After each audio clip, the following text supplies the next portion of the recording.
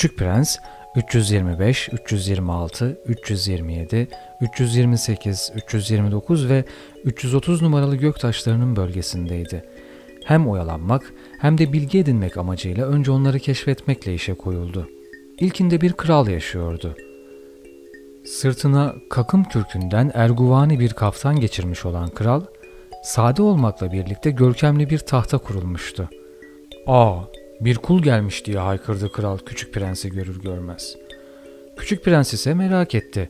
Beni daha önce hiç görmedi ki nereden tanıyor? Küçük prens kralların dünyayı çok basite indirgediklerini bilmezdi tabii. Onların gözünde tüm insanlar kuldan ibarettir. Yaklaş da seni daha iyi göreyim dedi kral. Nihayet birisine krallık taslayabileceği için iyice havalara girmişti. Küçük prens oturabileceği bir yerler bakındı ama tüm gezegeni o gösterişli kakım kaftan kaplıyordu. Mecburen ayakta kaldı. Yorgun olduğu için de esnedi. Bir kralın huzurunda esnemek adab-ı muaşerete aykırıdır dedi kral. Bunu yasaklıyorum. Elimde değil diye yanıt verdi mahcup olan küçük prens. Uzun yoldan geliyorum ve hiç uyuyamadım. O halde dedi kral sana esnemeni emrediyorum. Yıllardır kimsenin esnediğini görmemiştim. Esnemek nasıl bir şey diye hep merak etmişimdir. Haydi bir daha esne. Bu bir emirdir. Pustum. Bu sefer de esneyemiyorum dedi yüzü kıpkırmızı olan küçük prens. Hmm diye yanıtladı kral. O halde ben de şey sana emrediyorum. Bazen esne bazen de lafı biraz ağzında geveliyordu. Belli ki bozum olmuştu. Çünkü kral için asıl önemli olan otoritesinin sarsılmamasıydı. Kendisine karşı çıkılmasına tahammülü yoktu. O mutlakiyetçi bir hükümdardı. Bir yandan da pek hüsniyet sahibi olduğu için makul emirler veriyordu. Eğer derdi hep, eğer bir generale bir su kuşuna dönüşmesini emretsem ve general de emrime itaat etmese, bu generalin değil benim suçum olur. Oturabilir miyim diye ürkek bir sesle sordu küçük prens. Sana oturmanı emrediyorum diye yanıtladı kral. Kakım kaftanını heybetli bir edayla azıcık kenara çekti. Öte yandan küçük prens şaşkındı. Gezegen minnacıktı. Bu kral neye hükmediyordu ki? Kral hazretleri dedi küçük prens. Kusuruma bakmazsanız size bir soru sormak istiyorum. Sana bana soru sormanı emrediyorum dedi hemen kral. Kral hazretleri siz neye hükmediyorsunuz? Her şeye diye yanıtladı kral büyük bir sadelikle. Her şeye mi? Kral eliyle gezegeni, diğer gezegenleri ve yıldızları işaret etti. Bütün bunlara mı dedi küçük prens? Bütün bunlara diye yanıtladı kral. Çünkü o sadece mutlakiyetçi bir hükümdar değildi. Aynı zamanda bir cihan hükümdarıydı. Peki yıldızlar da emirlerinize itaat ediyorlar mı? Kuşkusuz diye yanıtladı kral. Emirlerime tez elden uyarlar. Başı bozukluğa asla müsamaha göstermem. Böylesi bir güç karşısında küçük prens hayran kaldı. Eğer aynı güce kendi sahip olabilseydi, o zaman bir günde değil 44, 72, hatta 100, belki de 200 gün batımını izlerdi. Hem de sandalyesini çekmek zorunda bile kalmadan. Terk edilmiş küçük gezegenini anımsayıp biraz hüzünlenince kralın kendisine bir ayrıcalık bahşetmesini rica etmeye cüret edebildi. Bir gün batımını izlemek isterdim. Ne olur beni kırmayın. Güneşe batmasını emredin. Eğer bir generale kelebek gibi çiçekten çiçeğe konmasını emretseydim ya da bir trajedi yaratmasını, olmadı bir su kuşuna dönüşmesini, generalde bu emre itaat etmeseydi bu hangimizin kusuru olurdu? Onun mu, benim mi? Sizin kusurunuz olurdu dedi küçük prens. Büyük bir kararlılıkla. Doğru, herkesten yalnızca yapabileceğini talep etmek gerek diye üsteledi kral. Yetkenin dayanağı her şeyden önce akıl olmalıdır. Eğer halkına gidip kendini denize atmasını emredersem o da gider devrim yapar. Emirlerime itaat edilmesini beklemeye hakkım var çünkü ben makul emirler veriyorum. Ya benim gün batımım diye hatırlattı küçük prens. O sorduğu bir sorudan asla vazgeçmezdi. Tamam, gün batımını göreceksin. Bunu buyuracağım. Gel gelelim, hikmetinden sual olunamayacağına göre bunun için koşulların uygun olmasını bekleyeceğim. Ne zaman uygun olacaklar diye meraklandı küçük prens. diye yanıt verdi kral ve önce kocaman bir takvimini incelemeye koyuldu. uygun zaman nedir, nedir? Bu akşam saat 7.40'a doğrudur. Göreceksin bana nasıl da itaat edildiğini. Küçük prens esnedi. Kaçırdığı gün batımına üzülüyordu. Üstelik şimdiden biraz sıkılmaya başlamıştı. Burada yapacak bir şeyim kalmadı dedi krala. Ben gidiyorum. Gitme diye yanıt verdi kral. Hazır bir kul bulmuşken pek şişiniyordu. Gitme, seni bakan tayin edeceğim. Ne bakanı? Şey, adalet bakanı. Ama burada yargılanacak kimse yok ki. Bilemeyiz dedi ona kral. Henüz kraliyetimin her yöresini incelemiş değilim. Çok yaşlıyım. Saltanat arabası koyacak yerim yok ve yürümek beni çok yoruyor. Oho ben gördüm bile dedi küçük prens ve eğilerek gezegenin öbür ucuna şöyle bir baktı. Orada da kimsecikler yok. O zaman sen de kendi kendini yargılarsın diye yanıtladı kral. En zoru budur zaten. İnsanın kendi kendini yargılaması. Ve başkalarını yargılamaktan çok daha zordur. Eğer kendini hakkıyla yargılamayı başarırsan gerçekten bilgi olabilmişsin demektir. Ben, dedi küçük prens, kendimi nerede olursa yargılayabilirim. Bunun için buraya taşınmama gerek yok. dedi kral. Sanırım gezegenimin bir yerlerinde yaşlı bir lağım faresi var. Geceleyin sesini duyuyorum. Bu yaşlı lağım faresini yargılayabilirsin. Onu ara sıra idama mahkum edersin. Böylece boynu kıldan ince, adaletinin kılıcının gölgesinde yaşar ama bir çırpıda tüketmemek için onu her seferinde bağışlarsın. Elimizde bir tek o var. Ben, dedi küçük prens, idama mahkum etmekten hiç hoşlanmam ve sanırım gerçekten de gidiyorum artık. Olmaz dedi kral. Yola çıkmak üzere olan küçük prens bir yandan da ihtiyar hükümdarı üzmek istemiyordu. Eğer majesteleri kendilerine mutlak itaat edilmesini arzuluyorlarsa, zat halleri bana makul bir emir verebilirler. Örneğin, zat halleri bana bir dakika içinde gitmemi emredebilirler. Sanırım koşullar bunun için uygun. Kralın sessiz kaldığını gören küçük prens, kısa bir tereddütten sonra iç çekti ve yola koyuldu. Seni büyük elçim olarak tayin ediyorum diye arkasından telaşla seslendi o zaman kral. Bayağı buyurgan bir havası vardı. Yol boyu yetişkinler çok tuhaflar diye içinden geçirdi küçük prens. İkinci gezegende kendini beğenmiş biri yaşıyordu. Küçük prensi uzaktan görür görmez ''Haha bakın bir hayranım gelmiş'' diye seslendi kendini beğenmiş. Çünkü kendini beğenmişler için diğer insanlar ancak onların hayranı olabilirler.'' Merhaba dedi küçük prens. Ne tuhaf bir şapkanız var. Selam vermeye yarıyor diye yanıt verdi kendini beğenmiş. Alkışlandığımda selam vermek için. Gel gör ki buraya asla kimse uğramıyor. Öyle mi? dedi pek anlayamamış olan küçük prens. El çırp diye öğütledi o zaman kendini beğenmiş. Küçük prens el çırptı. Kendini beğenmiş gösterişe kaçmadan şapkasıyla selam verdi. İşte bu kralı ziyaret etmekten daha eğlenceli diye aklından geçirdi küçük prens ve tekrar el çırptı. Kendini beğenmiş de yeniden şapkasıyla selam verdi. Beş dakika boyunca aynı işlemi tekrarladıktan sonra küçük prens oyunun tek düzeliğinden sıkıldı. Peki ya şapkanızın kafanızdan uçmasını sağlamak için dedi. Bunun için ne yapmak gerek? Ancak kendini beğenmiş bu sözleri duymadı. Kendini beğenmişler övgü dışındaki sözleri duymazlar. Bana gerçekten çok mu hayransın diye sordu küçük prense. Hayran olmak ne demek? Hayran olmak benim bu gezegenin en yakışıklısı, en şık giyineni, en zengini ve en akıllısı olduğumu kabul etmek demek. İyi ama senin gezegeninde senden başka kimse yok ki. Sen yine de beni kırma. Hayran oluver işte. Ne var bunda? Peki sana hayranım dedi küçük prens hafifçe omuz silkerek ama bunun sana ne faydası olabilir ki? Ve küçük prens çekip gitti. Yol boyunca şu yetişkinler gerçekten de çok tuhaflar diye düşünmekle yetindi.'' Bir sonraki gezegende bir ayyaş yaşıyordu. Bu ziyaret çok kısa sürdü ama küçük prensi bir hayli hüzünlendirdi. Ne yapıyorsun orada dedi bir dizi boş ve bir dizi dolu şişenin önüne kurulmuş halde bulduğu Ayyaş'a. İçki içiyorum diye yanıtladı Ayyaş iç karartıcı bir vurguyla. Neden içki içiyorsun diye sordu ona küçük prens. Unutmak için diye yanıtladı. Neyi unutmak için diyerek ilgi gösterdi şimdiden ona acıyan küçük prens. Utanç içinde olduğumu unutmak için diye başını öne eğerek itiraf etti Ayyaş. Neden utanç içindesin diye öğrenmek istedi. Ona yardımcı olmaya niyetlenen küçük prens. İçki içtiğim için utanç içindeyim diye kestirip attı Ayyaş. Ardından da derin bir sessizliğe gömüldü. Ve aklı biraz karışan küçük prens çekip gitti. Yol boyu Yetişkinler gerçekten de çok ama çok tuhaflar diye içinden geçirdi. Dördüncü gezegen businessman'e yani iş adamına aitti. Adam o kadar işine dalmıştı ki küçük prens geldiğinde başını kaldırıp bakmadı bile. Merhaba dedi küçük prens. Sigaranız sönmüş. 3, 2 daha 5 eder. 5, 7 daha 12. 12, 3 daha 15. Merhaba. 15, 7 daha 22 eder.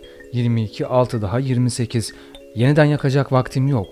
26 ve 5 e, etti 31. O demek ki toplam 501 milyon 622 bin 731 ediyor. 501 milyon ne? Ne dedin? Sen hala burada mısın? 501 milyon ne mi? Unuttum. İşim başımdan aşkın. Ciddi biriyim ben. Boş gevezeliklere ayıracak vaktim yok. 2, 5 daha 7. 501 milyon ne diye yineledi bir kez sordu mu? Sorduğu sorudan ömrü boyunca asla vazgeçmemiş olan küçük prens. İş adamı başını kaldırdı. Bu gezegende geçirdiğim 54 yıl boyunca sadece 3 kez işimden alıkonuldum. İlki 22 yıl kadar önceydi. Kim bilir nereden uçup gelmiş bir mayıs böceği yüzünden. Öyle bir yaygara koparıyordu ki bir toplamada tam 4 hata yaptım. İkincisinde ise 11 yıl önceydi. Romatizmam azmıştı. Malum yeterince hareket edemiyorum. Aylaklık edecek zamanım yok. Ciddi biriyim ben. Üçüncü kez ise işte o da şimdi. Ne diyordum? 501 milyon. Milyon ne? İş adamı onu başından savamayacağını anladı. Zaman zaman gökyüzünde görülen şu küçük şeylerden milyonlarcası. Sinek mi? Yok canım, şu ışıldayan şeylerden. Arı mı? Yok yahu. Tembellere düş malzemesi olan o küçük yıldızlı şeyler işte. Ama ciddi biriyim ben. Hayallere dalacak zamanım yok. Ha, yıldızlar mı? İşte o dediğinden, yıldızlar. Peki o 500 milyon yıldızla ne yapıyorsun? 501 milyon 622 bin 731. Ciddi biriyim ben. Kesin konuşurum. Peki o yıldızlarla ne yapıyorsun? Ne mi yapıyorum? Evet. Hiç. Onlar benim sermayem. Yıldızlar senin malın mı yani? Evet. Ama benim gördüğüm bir kral var ve o kralların sermayesi olmaz. Onlar hükmederler. O ayrı. Peki yıldızlara sahip olmak ne işe yarıyor? Zengin olmamı sağlıyor. Peki zengin olmak ne işe yarıyor? Başka yıldızları satın almaya tabii. Eğer birisi yenisini bulursa. Bu da diye içinden geçirdi küçük prens. Benim sarhoşla aynı kafada sanki. Yine de başka sorular sormaktan kendini alıkoyamadı. İnsan yıldızlara nasıl sahip olabilir ki? Onlar kime ait diye homurdanarak karşılık verdi iş adamı. Bilmem, kimseye. İşte o zaman da onlar benimdir. Çünkü bunu ilk akıl eden ben oldum. Bu yeterli mi? Elbette. Sahipsiz bir elmas bulursan o artık senindir. Sahipsiz bir ada bulursan o da senindir. Bir fikir ilk senin aklına gelirse patentini alırsın. O artık senindir ve yıldızlar da bana aittir çünkü benden önce kimse onlara sahip çıkmayı akıl edememiş. Bak orası doğru dedi küçük prens. Peki onlarla ne yapıyorsun? Onları işletiyorum, sayıyorum, sonra bir daha sayıyorum dedi iş adamı. Zor iş ama ben ciddi bir adamım. Küçük prens hala tatmin olmamıştı. Eğer benim bir fularım varsa onu boynuma dolayarak yanımda götürebilirim. Eğer bir çiçeğim varsa onu yerinden söküp yanıma alabilirim ama sen yıldızlarını sökemezsin. Hayır ama bankada istifleyebilirim. Bu da ne demek? Bu şu demek. Bir kağıda yıldızlarının sayısını yazarım ve bu kağıdı da bir çekmeceye kilitlerim. Bu kadarcık mı? E, daha ne olsun? Bu eğlenceli diye düşündü küçük prens. Şiirsel bir boyutu da yok değil ama ciddiye almak ne mümkün. Ciddi şeyler konusunda küçük prensin yetişkinlerden çok farklı düşünceleri vardı. Benim dedi yeniden her gün suladığım bir çiçeğim var. Her hafta bacalarını temizlediğim üç volkanım var. Sönmüş olanın da bacasını temizliyorum çünkü hiç belli olmaz. Onlara sahip olmam volkanlarım için yararlı, çiçeğim için de ama senin yıldızlara hiçbir faydan dokunmuyor. İş adamı ağzını açtı ama söyleyecek söz bulamadı. Küçük prens de çekip gitti. Yol boyunca yetişkinler gerçekten acayip insanlar diye içinden geçirdi sadece. Beşinci gezegen çok ilginçti. En küçüğü buydu. Yalnızca bir sokak fenerini ve sokak fenerini yakmakla görevli kişiyi barındıracak kadar yer vardı. Küçük prens göğün orta yerinde üzerinde ne ev ne de insan bulunan bir gezegende bir sokak fenerinin ve onu yakmakla görevli kişinin ne işe yarabileceğini pek kavrayamadı. Yine de içinden şöyle geçirdi. Böyle bir adamın varlığı ola ki çok abestir. Öte yandan kral kendini beğenmiş, iş adamı ve Ayyaş'ınki kadar değil. En azından yaptığı işin bir manası var. Sokak fenerini yaktığında sanki yeni bir yıldızın ışıldamasını ya da bir çiçeğin açmasını sağlıyor. Sokak fenerini söndürdüğünde ise çiçek ya da yıldız uykuya dalmış oluyor. Bu çok hoş bir uğraş. Gerçekten faydalı çünkü hoş. Gezegene ulaştığında sokak fenerini yakmakla görevli saygıyla selamladı. Merhaba, neden sokak fenerini söndürdün şimdi? Talimat bu yönde diye yanıt verdi sokak feneri yakma görevlisi. Günaydın. Talimat nedir? Sokak fenerini söndürmektir. İyi akşamlar. Sonra tekrar yaktı. Peki ama niye yaktın tekrar şimdi?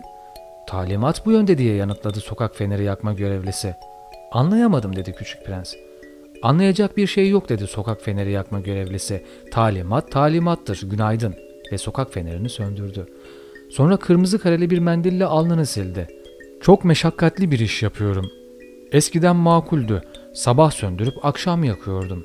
Günün gerisinde dinlenebiliyordum. Gecenin geri kalanındaysa uyuyacak zamanım oluyordu. Ve daha sonraları talimat mı değişti? Talimat değişmedi dedi sokak feneri yakma görevlisi. Sorun da bu ya zaten. Yıldan yıla gezegenin kendi çevresindeki devinimi hızlandı. Buna karşılık talimat değişmedi. Ee dedi küçük prens. E'si artık gezegen dakikada bir devinim yaptığına göre bir dakika bile dinlenemiyorum. Dakikada bir yakıp söndürüyorum. Bak bu çok komik. Senin burada gün bir dakika sürüyor. Hiç de komik değil dedi sokak feneri yakma görevlisi. Seninle konuşmaya başlayalı bir ay oldu bile. Bir ay mı? Evet 30 dakika. 30 gün. İyi akşamlar. Ve bir kez daha sokak fenerini yaktı. Küçük prens onu seyre daldı ve talimatlara bu kadar sadık kalan sokak feneri yakma görevlisinden hoşlandı. Eskiden kendisinin de sandalyesini çekerek yakaladığı gün batımlarını hatırladı. Arkadaşına yardım etmek istiyordu. Biliyor musun, istediğin zaman dinlenebilmeni sağlayacak bir yöntem biliyorum. Hep isterim dedi sokak feneri yakma görevlisi. Çünkü insan hem işine bağlı hem de tembel olabiliyor. Küçük prens devam etti. Gezegenin o kadar küçük ki üç adımla etrafını dolanabiliyorsun. Hep güneşte kalacak şekilde yeterince ağır adımlarla yürüyebilirsin.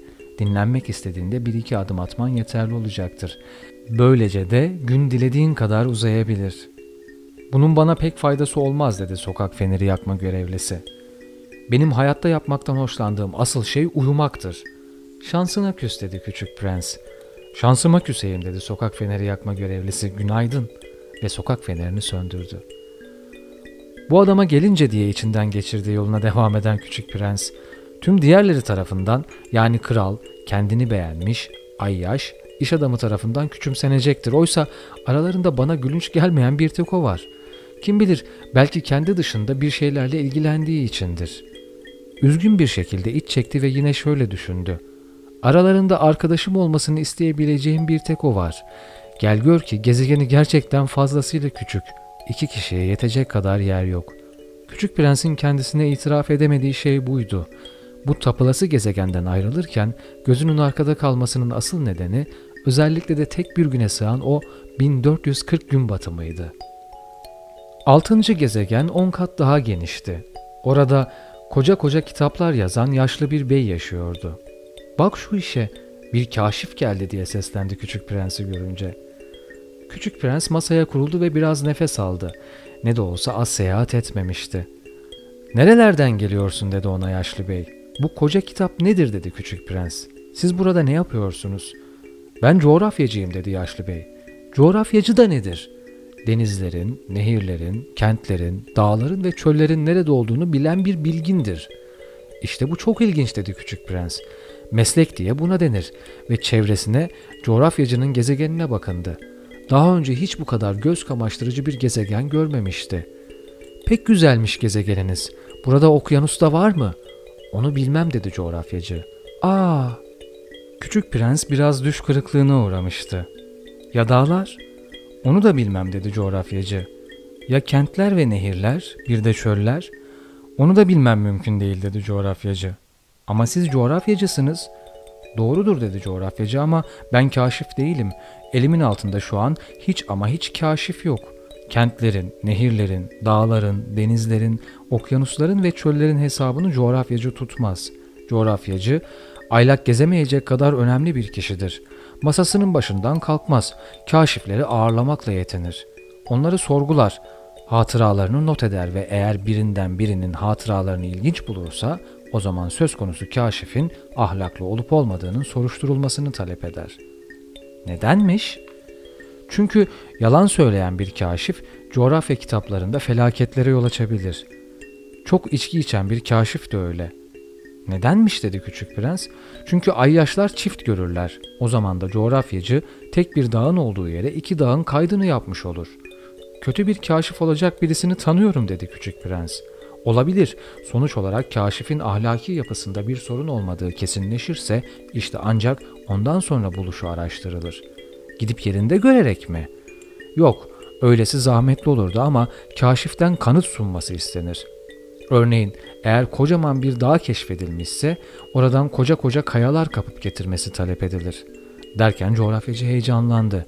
Peki ya sen? Sen de uzaklardan geliyorsun. Sen de kaşifsin. Bana geldiğin gezegeni betimlesene. Ve kayıt defterini açan coğrafyacı kurşun kalemini yonttu. Çünkü kaşiflerin anlattıkları önce kurşun kalemle not alınır, mürekkepli kalemle üstünden geçmeden önce kaşifin kanıtları sunmuş olması beklenir. Ee diye sorguladı coğrafyacı. Aman canım dedi küçük prens. Benim orası pek de ilginç değildir, küçücüktür. Üç volkanım var. İkisi faal, biri ise sönmüş olmakla birlikte. Hiç belli olmaz. Hiç belli olmaz dedi coğrafyacı. Bir de çiçeğim var. Çiçeklerin kaydını tutmayız dedi coğrafyacı. Nedenmiş? Çok daha güzeller oysa. Çünkü çiçekler fanidir. Fani ne demek? Coğrafya kitapları dedi coğrafyacı. Tüm diğerlerinden çok daha ciddidirler. Asla modaları geçmez. Dağlar çok nadiren yer değiştirirler. Bir okyanusun kuruması da çok nadirdir. Biz kalıcı şeyler hakkında yazarız. Ama sönmüş volkanlar bir gün faaliyete geçebilirler diye sözünü kesti küçük prens. Fani ne demek? Volkanlar ister faal olsunlar, isterse de sönmüş bizim için aynı hesaba gelir dedi coğrafyacı. Biz dağa bakarız, dağ değişmez. İyi de fani ne demek diye ısrar etti küçük prens. O ki bir kez sordu mu, sorduğu sorudan ömrü boyunca asla vazgeçmemiştir. Bu her an yok olabilir demektir. Benim çiçeğim her an yok olabilir mi yani? Elbette. Benim çiçeğim demek fani diye düşündü küçük prens. Üstelik koca dünyaya karşı kendini savunmak için tek silahı dört dikeni ve ben de onu evde yalnız bıraktım. İlk kez pişmanlık duyuyordu sonra toparlandı. Nereyi gezmeye gitmemi tavsiye edersiniz diye sordu. Dünya gezegeninin diye yanıt verdi coğrafyacı. İyi bir nam salmıştır. Ve küçük prens çiçeğini düşüne düşüne yola düştü. Bu durumda yedinci gezegen dünya oldu. Dünya sıradan bir gezegen değildir. Bu gezegende 111 kral, zenci zorba kralları da unutmadık elbette, 7000 coğrafyacı, 900 bin iş adamı, 7,5 milyon ayyaş, 311 milyon kendini beğenmiş yani yaklaşık 2 milyar yetişkin vardır. Dünyanın boyutları konusunda bir fikriniz olsun diye size şunu söyleyebilirim. Elektrik icat edilmeden önce 6 kıtanın toplamında tam 412.511 kişilik bir sokak feneri yakma görevlisi ordusu beslemek gerekiyordu. Biraz uzaktan bakıldığında tam bir göz ziyafeti sunuyordu yaptıkları iş. Bu ordunun deviniminin ahengini bir opera balesininkini aratmıyordu. Önce Yeni Zelanda ve Avustralya'nın sokak feneri yakma görevlileri işe koyuluyordu. Fenerlerini yakar yakmaz onlar yatmaya gidiyorlardı. Çok geçmeden işin içine Çin ve Sibirya'nın sokak feneri yakma görevlileri karışıyordu. Sonra onlar da ortalıktan kayboluyordu derken bu sefer sıra Rusya ve Hindistan sokak feneri yakma görevlilerine geliyordu. Ardından Afrika ve Avrupa'dakilere, peşinden de Güney Amerika'dakilere, daha sonra ise Kuzey Amerika'dakilere. Asla sahneye çıkma sıraları şaşmıyordu. Çok görkemliydi. Bir tek Kuzey Kutbu'ndaki tek sokak fenerini yakma görevlisiyle meslektaşı Güney Kutbu'ndaki tek sokak feneri yakma görevlisi avare bir hayat sürüp rehavete kapılabiliyorlardı. Onlara yalnızca yılda iki kez iş düşüyordu. İnsan muziplik yapayım derken biraz yalan söyleyebiliyor. Size sokak feneri yakma görevlilerinden söz ederken çok dürüst davranmadım. Gezegenimizi tanımayanların yanlış bir fikir edinmelerine yol açmış olabilirim. İnsanlar dünyada çok az yer kaplarlar aslında. Eğer dünyada yaşayan 2 milyar insan tıpkı bir mitingdeki gibi biraz sıkışık düzende ayakta yan yana dursalar 20 mil yani 32 kilometre uzunluğunda 20 mil genişliğinde bir meydana rahatlıkla sığabilirlerdi. Tüm insanlığı Pasifik okyanusundaki en ufak adacıklardan birine tıkıştırmak mümkün olurdu. Yetişkinler size inanamayacaklardır elbette. Onlar çok yer kapladıklarını sanırlar. Kendilerini tıpkı Babaplar gibi önemli addederler. O zaman onlara biraz hesap kitap yapmalarını önerirsiniz. Sayılara bayılırlar zaten. Bu çok hoşlarına gidecektir ama sakın siz bu tür bir ev ödeviyle vaktinizi boşa harcamayın. Hiç gerek yok. Siz bana güveniyorsunuz nasıl olsa. Bu koşullarda Küçük Prens dünyaya ayak bastığında kimseyi göremeyince pek şaşırmıştı. Tam acaba yanlış gezegene mi geldim diye endişe edecekken ay rengi bir halka kumda hareket etti. İyi geceler dedi küçük prens öylesine. İyi geceler dedi yılan. Hangi gezegene düştüm acaba diye sordu küçük prens. Dünyaya, Afrika'ya diye yanıtladı yılan. Aa, dünyada kimse yaşamıyor mu şimdi yani? Burası çöl, çöller ıssızdır. Dünya büyük dedi yılan. Küçük prens bir taşın üstüne oturdu ve gözünü göğe dikti. Merak ediyorum dedi. Acaba herkes kendi yıldızını bulabilsin diye mi yıldızları aydınlatmışlar? Bak benim gezegenime. Tam da tepemizde ama pek de uzak. Güzelmiş dedi yılan. Sen buraya niye geldin? Bir çiçekle bazı sorunlar yaşıyorum dedi küçük prens. Ya dedi yılan. Sessiz kaldılar. İnsanlar nerede diye nihayet sordu küçük prens. İnsan kendini çölde biraz yalnız hissediyor. İnsanların yanında da öyle dedi yılan. Küçük prens onu uzun uzun süzdü. Sen tuhaf bir yaratıksın dedi sonunda. Parmak kadar incesin. Ama bir kralın parmağından daha güçlüyüm dedi yılan. Küçük prens hafifçe gülümsedi. Pek de güçlü değilsin. Bacakların bile yok. Seyahat dahi edemezsin. Seni bir geminin götürebileceğinden daha uzaklara götürebilirim dedi yılan. Altın bir bilezikmiş gibi küçük prensin ayak bileğine dolandı. Kime dokunsam onu çıktığı toprağa iade ederim dedi yine. Ancak sen safsın ve bir yıldızdan geliyorsun. Küçük prens karşılık vermedi. Acıyorum sana. Sen ki bu granit dünyada bu kadar güçsüzsün. Eğer günün birinde gezegenini fazlasıyla özlersen sana yardımcı olabilirim. Çünkü ben istersem tamam tamam gayet iyi anladım deyiverdi küçük prens ama sen neden öyle bilmece gibi konuşuyorsun? Ben hepsini çözerim de ondan dedi yılan ve sustular. Küçük prens çölü boydan boya kat etti ve karşısında sadece bir çiçek çıktı. Topu topu üç taç yaprağı olan kıytırık bir çiçek. Merhaba dedi küçük prens. Merhaba dedi çiçek. İnsanlar nerede diye kibarca sordu küçük prens. Çiçek, günün birinde bir kervanın geçişine tanık olmuştu. İnsanlar mı? Onlardan altı ya da yedi tane olsa gerek yıllar önce gördüm ama nerede bulunabileceklerini asla bilinmez. Rüzgar nereye sürüklerse oraya giderler. Kökleri yok, işleri zor. Elveda dedi küçük prens. Elveda dedi çiçek. Küçük prens yüksek bir dağa tırmandı. Boyları ancak dizine gelen o üç volkandan başka dağ bilmezdi. Hatta sönmüş volkanı tabure niyetine kullanıyordu.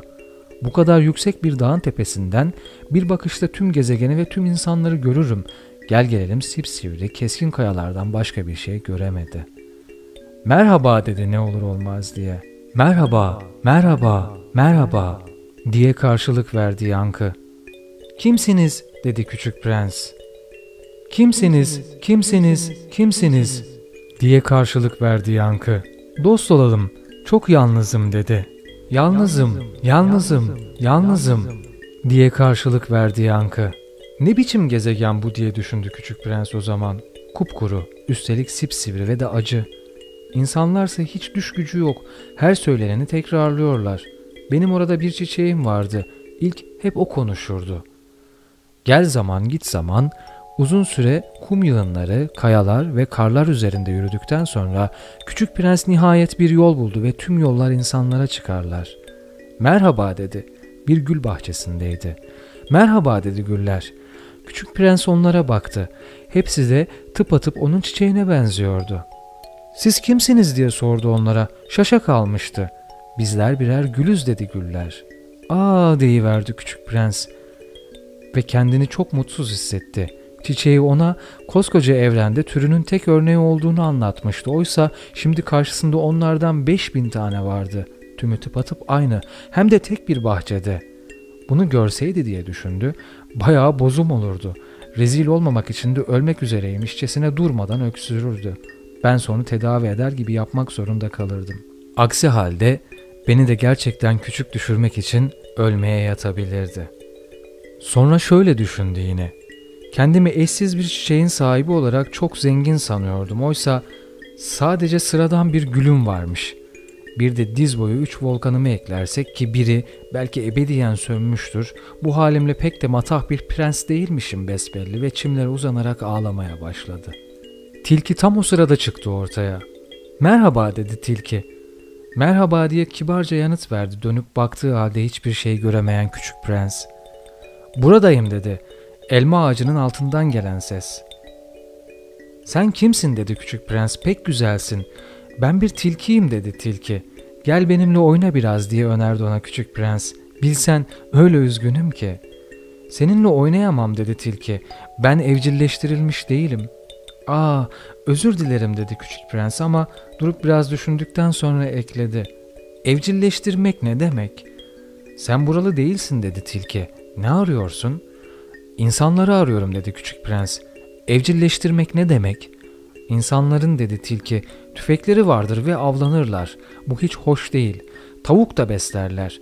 Tek işe yarar yönleri budur. Tavuk mu istiyorsun? Hayır dedi küçük prens. Dost arayışındayım.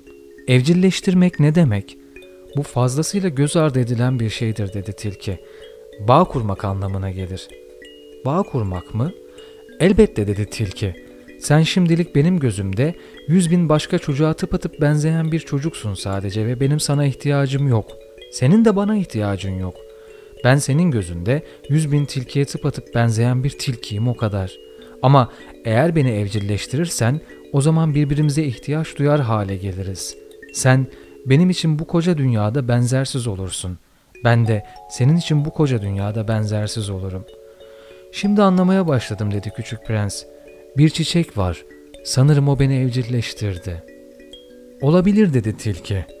Dünyada her gün neler oluyor neler. Yok bu çiçek dünyada değil dedi küçük prens. Tilkinin garibine gitmiş gibiydi. Başka bir gezegende mi? Evet. O gezegende avcı var mı? Yok. Bak bu ilginç işte. Ya tavuk? Yok. Her gülün bir dikeni vardır diye iç çekti tilki. Sonra da kaldığı yerden sürdürdü. Benim hayatım pek tek düzedir. Ben tavuk avlarım, avcılar da beni avlarlar. Tüm tavuklar birbirine benzer, tüm avcılar da avcılara benzer. Yani biraz sıkılıyorum aslında. Öte yandan sen beni evcilleştirirsen o zaman hayatıma sanki güneş doğmuş gibi olur. Diğerlerinden farklı bir ayak sesini tanımaya başlarım. Oysa ötekilerin adımlarını duyar duymaz yer altına saklanırım.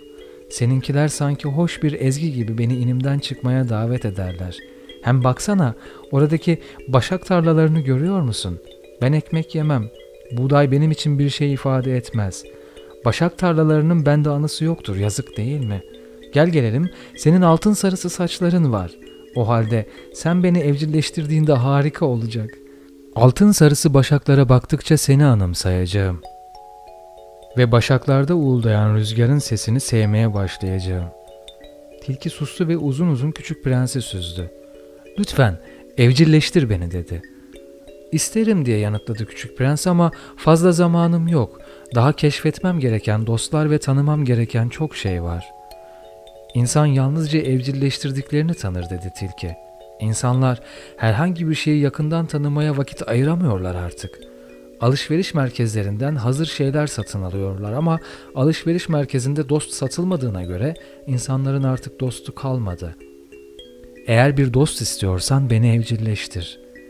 Ne yapmak gerek dedi küçük prens. Çok sabırlı olmak gerekiyor diye yanıtladı tilki. Önce benden az öteye, çimlerin üstüne öylesine oturursun.